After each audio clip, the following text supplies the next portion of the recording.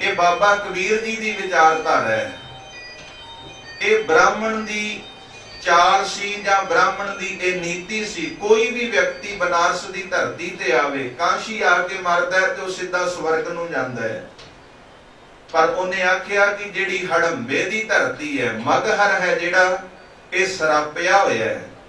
ਤੇ ਜਿਹੜਾ ਮਗਹਰ ਮਰੇਗਾ, ਉਹ ਨਰਕਾਂ ਨੂੰ ਜਾਵੇਗਾ। ਪਰ ਬਾਬਾ ਕਬੀਰ ਜੀ ਬ੍ਰਾਹਮਣ ਨੂੰ ਇਸ ਗੱਲ ਦਾ ਜਵਾਬ ਦਿੰਦੇ ਹਨ। ਕਹਿੰਦੇ, ਮਨੋ ਕਠੋਰ ਮਰੈ ਬਨਾਰਸ। ਜੇ ਬੰਦੇ ਦਾ ਹਿਰਦਾ ਹੋਵੇ ਪੱਥਰ, ਮਨੋ ਕਠੋਰ ਬੰਦਾ ਬਨਾਰਸ ਦੀ ਧਰਤੀ ਤੇ ਮਰੇ। ਪਰ ਬ੍ਰਾਹਮਣ ਤੂੰ ਕਹਿੰਦਾ ਆਪਣਾ ਜ਼ਮੀਨ ਜਾਇਦਾਦ ਪ੍ਰਾਪਰਟੀ ਦਾਨ ਕਰਕੇ ਮਰਨ ਤੋਂ ਪਹਿਲਾਂ ਤੇ ਜਿਹੜਾ ਆਰੇ ਦੇ ਨਾਲ ਤਨ ਨੂੰ ਚਰਵਾਉਂਦਾ ਸਿੱਧਾ ਨਰਕ ਦੇ ਵਿੱਚ ਜਾਂਦਾ ਕਹਿੰਦੇ, ਜੇ ਮਨ ਦਾ ਕਠੋਰ ਹੋਵੇ ਦਿਲ ਹੋਵੇ ਪੱਥਰ, ਤੇ ਉਹ ਬਨਾਰਸ ਦੀ ਧਰਤੀ ਤੇ ਮਰੇ ਤੇ ਬਾਬਾ ਕਬੀਰ ਜੀ ਕਹਿੰਦੇ, ਮੈਂ ਕਹਿੰਨਾ ਉਹਨੂੰ ਨਰਕਾਂ ਦੇ ਵਿੱਚ ਵੀ ਥਾਂ ਨਹੀਂ ਮਿਲ ਸਕਦਾ, ਤੂੰ ਕਿਹੜੇ ਸਵਰਗਾਂ ਦੀ ਗੱਲ ਕਰਦਾ ਹੈ? ਇਸ ਕਰਕੇ ਗੁਰਬਾਣੀ ਨੇ ਮਰਨ ਤੋਂ ਬਾਅਦ ਨਾ ਸਵਰਗ ਨੂੰ ਮੰਨਿਆ ਤੇ ਨਾ ਨਰਕ ਨੂੰ ਮੰਨਿਆ ਬਾਬਾ ਕਬੀਰ ਜੀ ਕਹਿੰਦੇ, ਕਬੀਰ, ਨਰਕ ਸਵਰਗ ਤੇ ਮੈਂ ਰਹਿਓ, ਸਤਿਗੁਰ ਕੈ ਪ੍ਰਸਾਦ, ਚਰਨ ਕਮਲ ਕੀ ਮੌਜ ਮੈਂ ਰਹੋ, ਅੰਤ ਅਰ ਆਦ। ਇਸ ਕਰਕੇ ਸਤਿਗੁਰੂ ਕਹਿੰਦੇ, ਪਾਪ ਪੁੰਨ ਤਹਿ ਭਈ ਕਹਾਵਤ। ਪਾਪ ਤੇ ਪੁੰਨ ਕਹਾਣੀਆਂ ਬਣ ਕੇ ਰਹਿ ਗਈਆਂ, ਕੋ ਨਰਕ ਕੋ ਸਵਰਗ ਮਛਾਵਤ। ਜਿਹੜਾ ਦਾਨ ਪੁੰਨ ਕਰਦਾ, ਉਹ ਆਖਦਾ ਜੀ, ਮੈਨੂੰ ਸਵਰਗ ਮਿਲ ਜਾਵੇ। ਜਿਹੜਾ ਪਾਪ ਕਰਦਾ, ਉਹਦੇ ਮਨ 'ਚ ਡਰ ਹੈ, ਸ਼ਾਇਦ ਮੈਨੂੰ ਕਿਤੇ ਨਰਕ ਨਾ ਮਿਲਣਾ। ਗੁਰੂ ਅਰਜਨ ਸਾਹਿਬ ਮਹਾਰਾਜ ਸੁਖਮਨੀ ਸਾਹਿਬ ਬਾਣੀ 'ਚ ਕਹਿੰਦੇ ਇਹ ਕੇਵਲ ਕਹਾਣੀਆਂ ਹਨ। ਹੁਣ ਬਾਬਾ ਕਬੀਰ ਦੀ ਗੱਲ ਕਰਦੇ ਕਹਿੰਦੇ ਮਨੋ ਕਠੋਰ ਮਰੈ ਬਨਾਰਸ, ਮਨ ਤੋਂ ਕਠੋਰ ਬੰਦਾ ਬਨਾਰਸ ਦੀ ਧਰਤੀ ਤੇ ਮਰੇ ਤੇ ਨਰਕ ਨਾ ਬੰਛਿਆ ਜਾਈ। ਕਹਿੰਦੇ ਉਹਨੂੰ ਨਰਕ ਵੀ ਨਸੀਬ ਨਹੀਂ ਹੋਣਾ। ਫਿਰ ਕਹਿੰਦੇ ਹਰ ਕਾ ਸੰਤ ਮਰੈ ਹੜੰਬੈ, ਬ੍ਰਾਹਮਣ ਤੂੰ ਇਹ ਗੱਲ ਆਖਦਾ ਕਿ ਹੜੰਬੇ ਦੀ ਧਰਤੀ ਜਿਹੜਾ ਮਗਹਰ ਹੈ, ਉਹ ਸਰਾਪੇ ਹੈ, ਸਰਾਪੀ ਧਰਤੀ ਹੈ, ਜਿਹੜਾ ਮਗਹਰ ਮਰੇਗਾ, ਉਹਨੂੰ ਨਰਕ ਪ੍ਰਾਪਤ ਹੋਵੇਗਾ। ਪਰ ਬਾਬਾ ਕਬੀਰ ਜੀ ਕਹਿੰਦੇ, ਨਹੀਂ, ਰੱਬ ਦਾ ਸੰਤ ਜੇਕਰ ਹੜੰਬੇ ਦੀ ਧਰਤੀ ਤੇ ਮਰੇ ਤੇ ਉਹ ਆਪਣੀ ਸੈਨਾ ਆਪਣੀਆਂ ਕੁੱਲਾਂ ਤਾਰ ਲਵੇਗਾ। ਇਸ ਕਰਕੇ ਮਨੋ ਕਠੋਰ ਮਰੈ ਬਨਾਰਸ ਨਰਕ ਨਾ ਬੰਛਿਆ ਜਾਈ। ਹਰ ਕਾ ਸੰਤ ਮਰੈ ਹੜੰਬੈ ਤਾਂ ਸਗਲੀ ਸੈਣ ਤਰਾਈ। ਫਿਰ ਬਾਬਾ ਕਬੀਰ ਜੀ ਕਹਿੰਦੇ ਦਿਨ ਸ ਰਹਿਣ, ਵੇਦ ਨਹੀਂ ਸ਼ਾਸਤਰ, ਤਾਹਾਂ ਬਸੈ ਨਿਰੰਕਾਰਾ।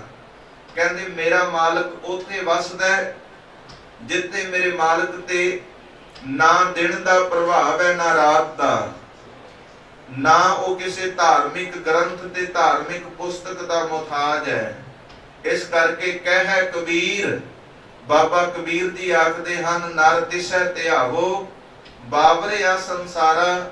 ਕਹਿੰਦੇ, ਹੈ ਦੁਨੀਆ ਦੇ ਲੋਕੋ, ਸਾਰਾ ਸੰਸਾਰ ਝੱਲਾ ਹੋਇਆ ਇਸ ਕਰਕੇ ਇੱਕ ਅਕਾਲ ਪੁਰਖ ਪਰਮਾਤਮਾ ਨੂੰ ਸਿਮਰੋ।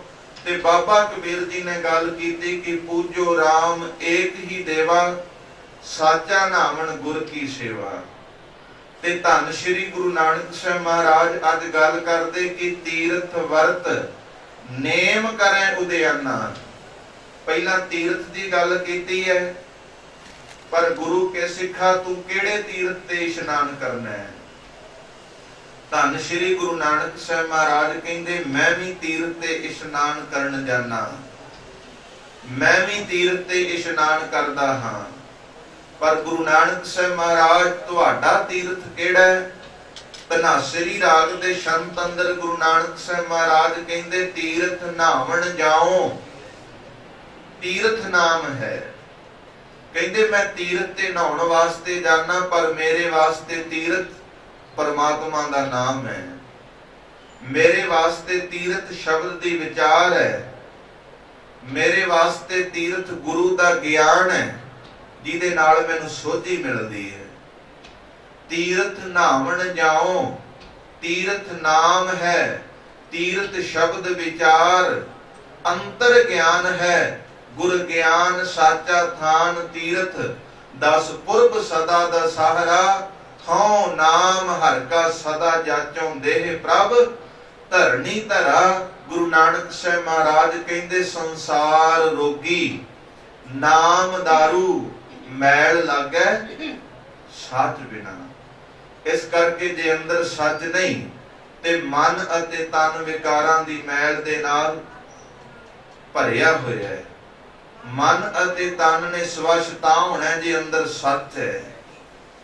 ਇਸ ਕਰਕੇ ਸਤਿਗੁਰੂ ਨੇ ਜਿੱਥੇ ਪਹਿਲਾਂ ਤੀਰਤ ਦੀ ਗੱਲ ਕੀਤੀ ਹੈ, ਗੁਰੂ ਕੇ ਸਿੱਖ ਨੂੰ ਸਮਝ ਪੈ ਜਾਵੇ ਕਿ ਅੰਤਰਗਤ ਤੀਰਥ ਮਲ ਨਾਓ ਪਰ ਬਾਬਾ ਕਬੀਰ ਜੀ ਨੇ ਜਿੱਥੇ ਪੂਜੋ RAM ਏਕ ਹੀ ਦੇਵਾ ਦੀ ਗੱਲ ਕੀਤੀ ਹੈ, ਸਾਚਾ ਨਾਵਣ ਗੁਰ ਕੀ ਸੇਵਾ ਦੀ ਗੱਲ ਕੀਤੀ ਹੈ।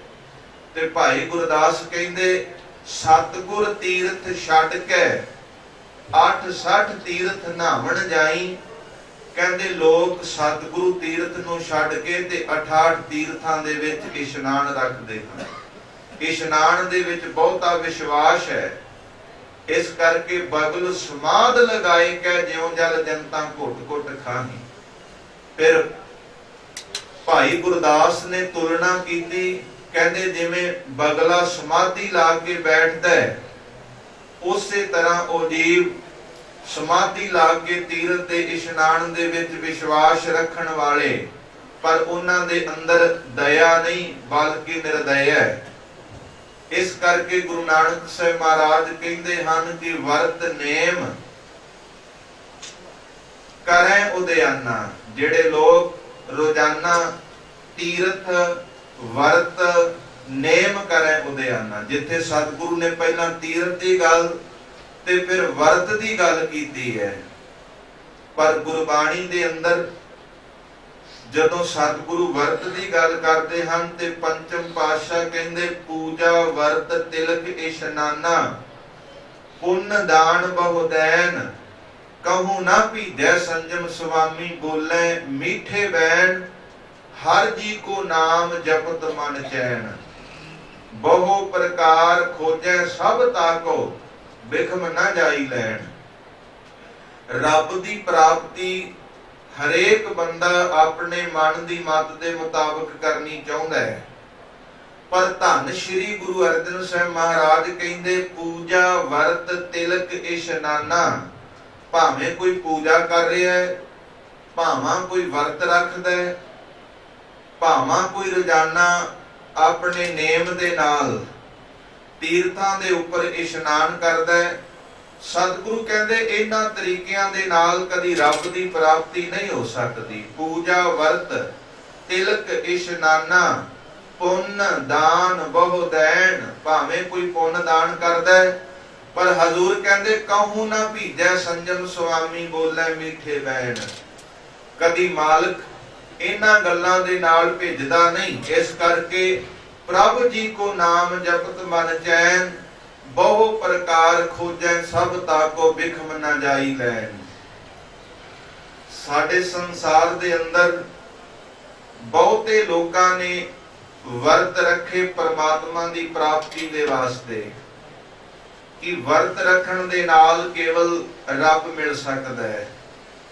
ਪਰ ਕੋਈ ਇਕਾदशी ਦਾ ਵਰਤ ਰੱਖਦਾ ਹੈ, ਕੋਈ ਰਮਜ਼ਾਨ ਦੇ ਰੋਜ਼ਿਆਂ ਦੇ ਦਿਨਾਂ ਦੇ ਵਿੱਚ ਵਰਤ ਰੱਖਦਾ ਹੈ ਪਰ ਸਤਿਗੁਰੂ ਦੀ ਬਾਣੀ ਇਹ ਗੱਲ ਆਖਦੀ ਕਿ ਨਾ ਅਸੀਂ ਇਕਾदशी ਦੇ ਵਰਤ ਦੇ ਵਿੱਚ ਵਿਸ਼ਵਾਸ ਰੱਖਦੇ ਹਾਂ, ਨਾ ਅਸੀਂ ਰੋਜ਼ਿਆਂ ਦੇ ਦਿਨਾਂ ਦੇ ਵਿੱਚ ਵਰਤ ਰੱਖਣਾ ਪ੍ਰਵਾਨ ਕਰਦੇ ਹਾਂ। ਹਜ਼ੂਰ ਕਹਿੰਦੇ, ਵਰਤ ਨਾ ਰਹੋ, ਨਾ ਮਹਿ ਰਮਦਾਨਾ ਤਿਸ ਸੇਮੀ ਜੋ ਰੱਖੈ ਨਿਦਾਨਾ। ਕਹਿੰਦੇ, ਮੈਂ ਤਾਂ ਕੇਵਲ ਉਹਨੂੰ ਸਿਮਰਦਾ ਜਿਹੜਾ ਅਖੀਰ ਤੱਕ ਮੇਰੇ ਨਾਲ ਅੰਗ ਸੰਗ ਸਹਾਈ ਹੋਵੇ। ਇਸ ਕਰਕੇ ਗੁਰੂ ਨਾਨਕ ਸਾਹਿਬ ਮਹਾਰਾਜ ਦੇ ਕਰਕੇ ਅੱਜ ਪਖੰਡਾਂ ਦੀ ਗੱਲ, ਤੀਰਥ ਤੇ ਵਰਤ ਦੀ ਗੱਲ ਕਰਦੇ ਹਨ। ਪਰ ਵਰਤ ਰੱਖਣਾ ਇਹ ਇੱਕ ਗੁਲਾਮੀ ਦੀ ਨਿਸ਼ਾਨੀ ਹੈ। ਪਰ ਸਾਡੇ ਸੰਸਾਰ ਦੇ ਅੰਦਰ ਜਦੋਂ ਅਸੀਂ ਝਾਤ ਮਾਰਦੇ ਆਂ ਸਾਡੀਆਂ ਮਤਾਵਾਂ, ਭੈਣਾ ਵਰਤ ਰੱਖਦੀਆਂ ਨੇ। ਉਹ ਕਿਸ ਵਾਸਤੇ ਕਿ ਮੇਰੇ ਪਤੀ ਦੀ ਉਮਰ ਹੈ ਜਿਹੜੀ ਉਹ ਲੰਮੀ ਹੋਵੇ? ਪਰ ਸਤਿਗੁਰੂ ਦੀ ਬਾਣੀ ਤਾਂ ਇਹ ਗੱਲ ਆਖਦੀ ਹੈ ਕਿ ਜੋ ਉਪਜਿਓ ਸੋ ਬਿਨ ਸਹਿ ਪਰੋ ਅੱਜ ਕਹਿ ਕਾਲ। ਸਤਿਗੁਰੂ ਦੀ ਬਾਣੀ ਤਾਂ ਇਹ ਗੱਲ ਆਖਦੀ ਹੈ ਕਿ ਜੰਮਣ ਮਰਨਾ ਹੁਕਮ ਹੈ, ਭਾਣੇ ਆਵੇ ਜਾਏ। ਸਤਿਗੁਰੂ ਦੀ ਬਾਣੀ ਇਹ ਗੱਲ ਆਖਦੀ ਹੈ ਕਿ ਮਰਨ ਲਿਖਾਏ ਮੰਡਲ ਮੈਂ ਆਏ। ਬੰਦਾ ਆਪਣਾ ਮਰਨਾ ਲਿਖਾ ਕੇ ਸੰਸਾਰ 'ਚ ਆਇਆ ਜੇ ਵਰਤ ਰੱਖ ਕੇ ਉਮਰ ਵੱਧਦੀ ਹੋਵੇ ਤੇ ਫਿਰ ਸੰਸਾਰ ਦੇ ਅੰਦਰ ਕੋਈ ਮਰੇ ਨਾ। ਪਰ ਕਮਾਲ ਦੀ ਗੱਲ ਹੈਰਾਨ ਉਦੋਂ ਹੋਈਦਾ ਜਦੋਂ ਕਹਿੰਦੇ ਨੇ ਵੀ ਇੱਕ ਔਰਤ ਵਰਤ ਰੱਖੇ ਆਪਣੇ ਪਤੀ ਵਾਸਤੇ, ਪਰ ਪਤੀ ਕੁਝ ਵੀ ਨਾ ਕਰੇ। ਇੱਥੇ ਔਰਤ ਨੂੰ ਗੁਲਾਮ ਬਣਾਇਆ ਗਿਆ ਕਿ ਔਰਤ ਆਪਣੇ ਸਰੀਰ ਨੂੰ ਕਸ਼ਟ ਦੇ ਕੇ ਆਪਣੀ ਪਤੀ ਦੀ ਲੰਮੀ ਉਮਰ ਵਾਸਤੇ ਸੋਚ ਸਕਦੀ ਹੈ, ਪਰ ਮਰਦ ਨਹੀਂ। ਪਰ ਮੇਰੀਓ ਭੈਣੋ, ਇਸ ਸੰਸਾਰ ਦੇ ਅੰਦਰ ਔਰਤ ਨੂੰ ਗੁਲਾਮ ਸਮਝਿਆ ਜਾਂਦਾ ਸੀ। ਤੇ ਵੱਡੇ ਵੱਡੇ ਫਲਸਫਰਾਂ ਨੇ ਵੀ ਇਹ ਗੱਲ ਆਖ ਦਿੱਤੀ ਕਿ ਢੋਰ, ਗਵਾਰ ਸ਼ੂਦਰ ਪਸ਼, ਨਾਰੀ ਹੈ ਪੰਚੋਂ ਤਾੜਨ ਕੇ ਅਧਿਕਾਰੀ।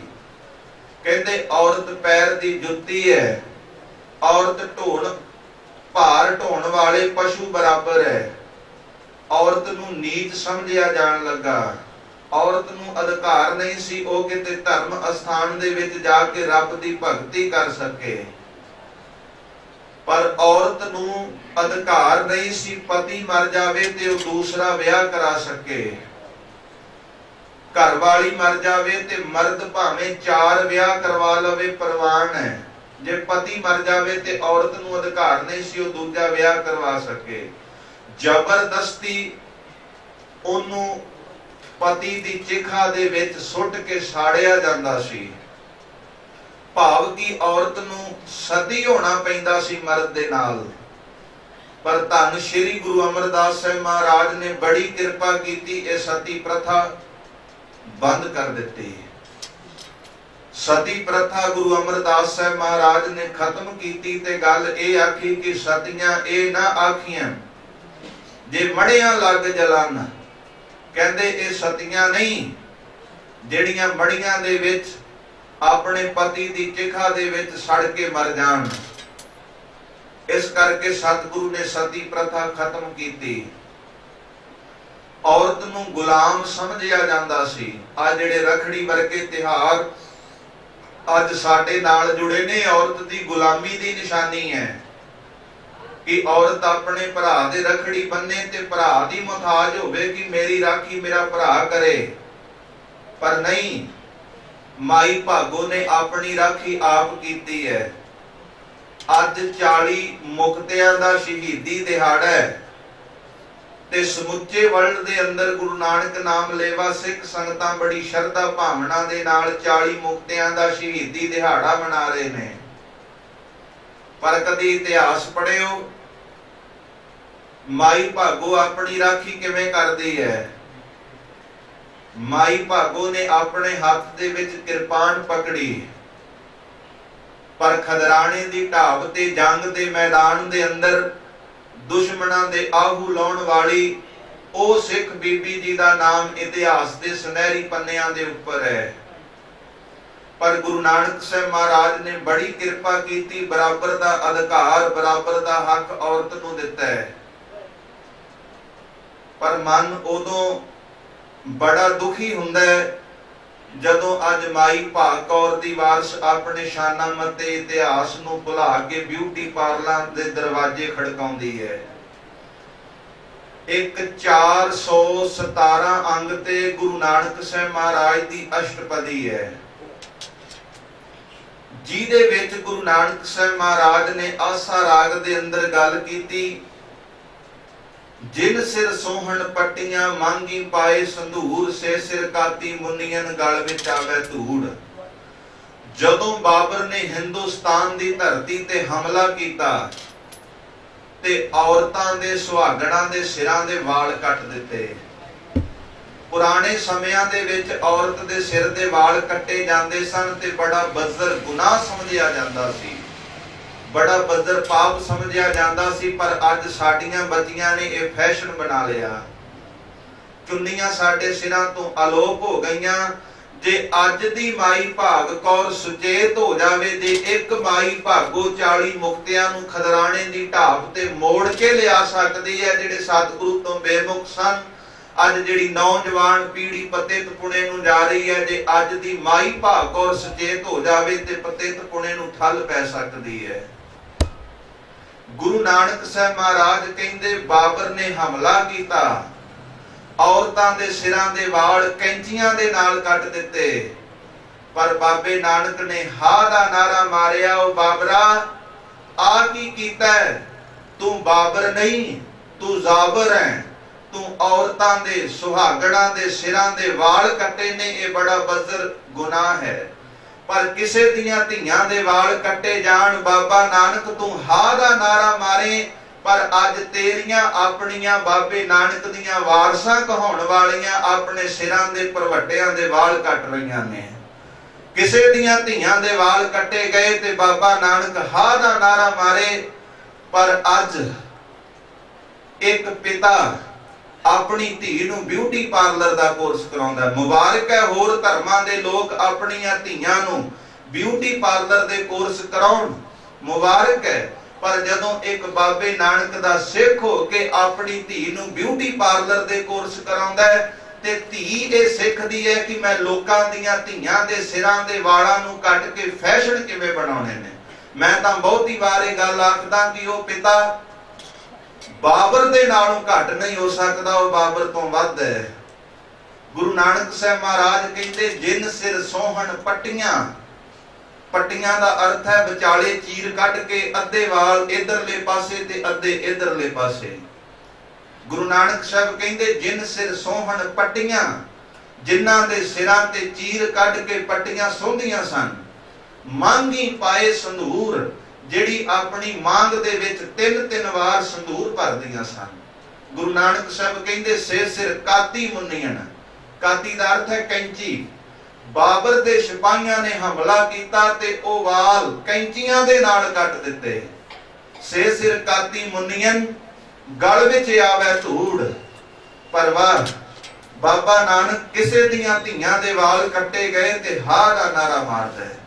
ਬਾਬਰ ਨੂੰ ਆਖਦਾ ਬਾਬਰ ਤੂੰ ਬਾਬਰ ਨਹੀਂ, ਤੂੰ ਜ਼ਾਬਰ ਹੈ। ਪਰ ਅੱਜ ਬਾਬੇ ਨਾਨਕ ਦੀਆਂ ਵਾਰਸਾਂ ਆਪਣੇ ਸ਼ਾਨਾਂ ਮਤੇ ਇਤਿਹਾਸ ਨੂੰ ਭੁਲਾ ਬੈਠੀਆਂ। ਅੱਜ ਯਾਦ ਹੈ ਕਿਸੇ ਨੂੰ? ਬੇਬੇ ਨਾਨਕੀ ਦਾ ਇਤਿਹਾਸ। ਅੱਜ ਯਾਦ ਹੈ ਕਿਸੇ ਨੂੰ? ਮਾਤਾ ਗੁਜਰ ਕੌਰ ਦੀ ਲਸਾਨੀ ਕੁਰਬਾਨੀ। ਅੱਜ ਯਾਦ ਹੈ ਕਿਸੇ ਨੂੰ? ਮਾਈ ਭਾ ਕੌਰ ਦਾ ਸ਼ਾਨਾ ਮਤਾ ਇਤਿਹਾਸ। ਜੰਗ ਦੇ ਮੈਦਾਨ ਦੇ ਅੰਦਰ ਜੂਝਣ ਵਾਲੀ ਸਤਿਗੁਰੂ ਦੀ ਉਹ ਸਿੱਖ ਬੱਚੀ, ਮਾਈ ਭਾਗ ਕੌਰ, ਜਿਹਦਾ ਨਾਮ ਅੱਜ ਇਤਿਹਾਸ ਦੇ ਵਿੱਚ ਹੈ। ਤੇ ਢਾਡੀ ਸੋਹਣ ਸਿੰਘ ਸ਼ੀਤਲ ਨੇ ਇਸ ਗੱਲ ਦਾ ਜ਼ਿਕਰ ਕੀਤਾ ਕਿ ਜਦੋਂ ਗੁਰੂ ਗੋਬਿੰਦ ਸਿੰਘ ਸਾਹਿਬ ਮਹਾਰਾਜ ਆ ਮੋਗੇ ਦੇ ਇਲਾਕੇ ਚੋਂ ਰਾਮੇ ਆਣੇ ਤੋਂ ਕੋਟਕਪੂਰੇ ਨੂੰ ਗਏ, ਤੇ ਇੱਥੇ ਦੇ ਚੌਧਰੀ ਨੰਬਰਦਾਰ ਮਿਲ ਕੇ ਆਪਸ ਦੇ ਵਿੱਚ ਵਿਚਾਰ ਕਰਕੇ ਸਤਿਗੁਰੂ ਦੇ ਕੋਲ ਗਏ ਕਿ ਪਾਤਸ਼ਾਹ, ਆਪਾਂ ਇਸ ਤਰ੍ਹਾਂ ਕਰੀਏ ਕਿ ਮੁਗਲ ਹਕੂਮਤ ਦੇ ਨਾਲ ਆਪਣਾ ਸਹਿਚਾਰ ਬਣਾ ਲਈਏ। ਸਾਡਾ ਗੰਢ ਜੋੜ ਜਿਹੜਾ ਮੁਗਲ ਹਕੂਮਤ ਦੇ ਨਾਲ ਬਣਨਾ ਚਾਹੀਦਾ ਹੈ।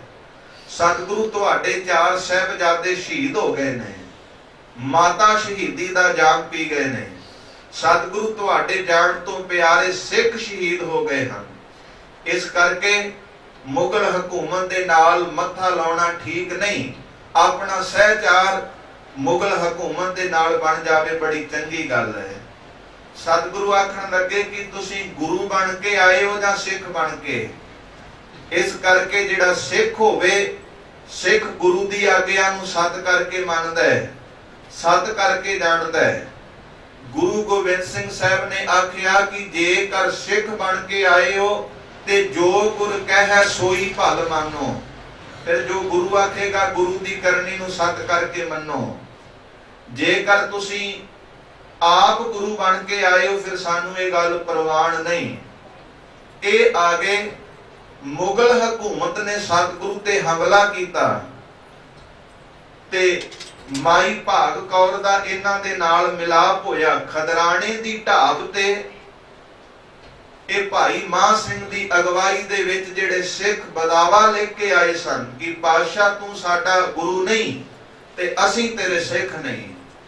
ਫਿਰ ਇਹ ਬਦਾਵਾ ਭਾਈ ਮਾਨ ਸਿੰਘ ਆਪ ਲੈ ਕੇ ਮੈਦਾਨੀ ਜੰਗ ਦੇ ਅੰਦਰ ਜੁਝੇ। ਉੱਥੇ ਕੇਵਲ 40 ਨਹੀਂ, ਅਣਗਿਣਤ ਇਲਾਕੇ ਦੇ ਜਿਹੜੇ ਮਾਝੇ ਦੇ ਸਿੱਖ ਸਨ ਉਹ ਵੀ ਖਦਰਾਣੇ ਦੀ ਢਾਬ ਤੇ ਸ਼ਹੀਦੀ ਦਾ ਜਾਮ ਪੀ ਗਏ।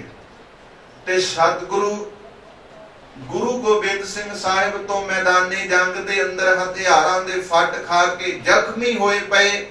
ਭਾਈ ਮਾਨ ਸਿੰਘ ਨੇ ਇੱਕ ਮੰਗ ਕੀਤੀ ਸੀ, ਪਾਤਸ਼ਾਹ, ਜਿਹੜਾ ਬਦਾਵਾ ਲਿਖਿਆ ਤੁਸੀਂ ਪਾੜ ਦਿਓ। ਸਤਿਗੁਰੂ ਨੇ ਪਾੜ ਦਿੱਤਾ। ਅਸੀਂ ਇਹ ਤਾਂ ਸਾਖੀਆਂ ਅੱਜ ਬੜੀਆਂ ਸੁਣਾਵਾਂਗੇ ਕਿ ਭਾਈ ਮਾਨ ਸਿੰਘ ਬਦਾਵਾ ਲਿਖ ਕੇ ਆ ਗਏ। ਤੇ ਉਹਨਾਂ ਨੇ ਸਤਿਗੁਰੂ ਨੂੰ ਆਖਿਆ, ਪਾਤਸ਼ਾਹ, ਬਦਾਵਾ ਪਾੜ ਦਿਓ ਤੇ ਬਦਾਵਾ ਪਾੜ ਦਿੱਤਾ। ਪਰ ਅੱਜ ਅਸੀਂ ਆਪ ਆਪਣੇ ਮੂੰਹ ਤੇ ਬਦਾਵੇ ਲਿਖ ਕੇ ਲਾਏ ਹੋਏ ਹਨ। ਸਤਿਗੁਰੂ, ਤੂੰ ਸਾਡਾ ਗੁਰੂ ਨਹੀਂ ਤੇ ਅਸੀਂ ਤੇਰੇ ਸਿੱਖ ਨਹੀਂ। ਸਾਨੂੰ ਨਹੀਂ ਤੇਰੀ ਸਿੱਖੀ ਪ੍ਰਵਾਨ। ਸਤਿਗੁਰੂ, ਤੂੰ ਆਪਣੇ ਚਾਰ ਫਰਜ਼ੰਦ ਕੁਰਬਾਨ ਕੀਤੇ ਹੋਣਗੇ ਤੇ ਠੀਕ ਹੈ। ਸਤਿਗੁਰੂ, ਸਾਨੂੰ ਕੀ ਭਾ ਤੇਰੇ ਪੁੱਤਰਾਂ ਦੀ ਕੁਰਬਾਨੀ ਦਾ। ਪਰ ਭਾਈ ਮਾਂ ਸਿੰਘ ਨੇ ਬਦਾਵਾ ਲਿਖਿਆ।